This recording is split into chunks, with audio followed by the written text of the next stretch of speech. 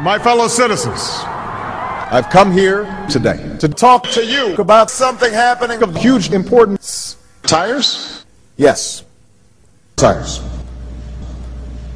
We must make sure we have correct tire pressure by keeping our tires inflated. Of course, citizens should have the right to access free regular tire inspections, or, if required, we must ask for change. Tire change. All this Kwik Fit can do. All this Kwik Fit will do. Kwik Fit. You'll be amazed at what we do. Thank you.